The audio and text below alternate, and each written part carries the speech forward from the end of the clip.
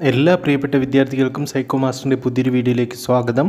ഇന്നത്തെ video plus two economic സബ്ജക്റ്റുമായി ബന്ധപ്പെട്ട് മുൻകാല വർഷങ്ങളിൽ ചോദിച്ചിട്ടുള്ള ക്വസ്റ്റ്യൻസിൽ നിന്ന് എടുത്തിട്ടുള്ള കുറച്ച് ഒൺവേഡ് ക്വസ്റ്റ്യൻസ് ആണ് അതിൽ നിന്ന് കുറച്ച് ക്വസ്റ്റ്യൻസ് ഇന്ന് ഉൾപ്പെടുത്തിയിട്ടുണ്ട്. ബാക്കി തീർച്ചയായും വരുന്ന വീഡിയോകൾ ഉൾപ്പെടുത്തും. അപ്പോൾ അതുപോലെ നമ്മുടെ ചാനൽ ആദ്യമായിട്ട് കാണുന്ന ആളാണെങ്കിൽ ഒന്ന് സബ്സ്ക്രൈബ് ചെയ്യുക തുടർ നോട്ടിഫിക്കേഷൻ ലഭിക്കുന്നതിന് വേണ്ടി ബെല്ലൈക്കൺ കൂടി അമർത്തുക. അപ്പോൾ നമുക്ക് ആ ക്വസ്റ്റ്യനിലേക്ക് കടക്കാം.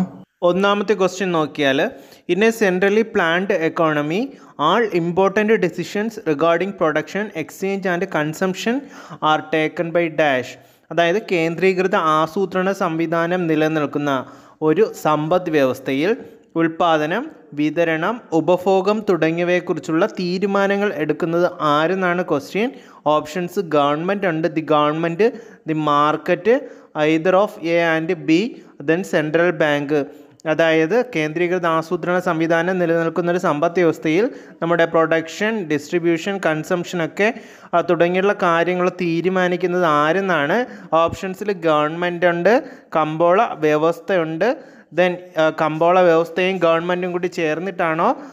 പിന്നെ സെൻട്രൽ ബാങ്ക് ഉണ്ട് അല്ലെങ്കിൽ ആർ ബി ഐ അല്ലെങ്കിൽ സെൻട്രൽ ബാങ്കാണോ എന്നാണ് ക്വസ്റ്റ്യൻ ഉത്തരം എ ആണ് ഗവൺമെന്റ് ആണ്. അടുത്തൊരു ക്വസ്റ്റ്യൻ നോക്കാം. Keynes book general theory of employment interest and money was published in dash അതായത് കെയ്ൻസിന്റെ വിഖ്യാത ഗ്രന്ഥമായ തൊഴിൽ പലിശ പണം എന്നിവയുടെ പൊതു സിദ്ധാന്തം ഏത് വർഷമാണ് പ്രസിദ്ധീകരിച്ചതെന്നാണ് ക്വസ്റ്റ്യൻ ഓപ്ഷൻസ് ആയിരത്തി തൊള്ളായിരത്തി ഇരുപത്തി ആറ് ആയിരത്തി തൊള്ളായിരത്തി മുപ്പത്തി ആറ് ആയിരത്തി തൊള്ളായിരത്തി നാൽപ്പത്തി ആറ് ആയിരത്തി തൊള്ളായിരത്തി അൻപത്തി ആറ് കെയ്ൻസിന്റെ general theory of employment interest and money ആയിരത്തി തൊള്ളായിരത്തി മുപ്പത്തി ആറ് നയന്റീൻ തേർട്ടി സിക്സിലാണ് പബ്ലിഷ് ചെയ്തത്. ഓർമ്മിച്ചിരിക്കുക.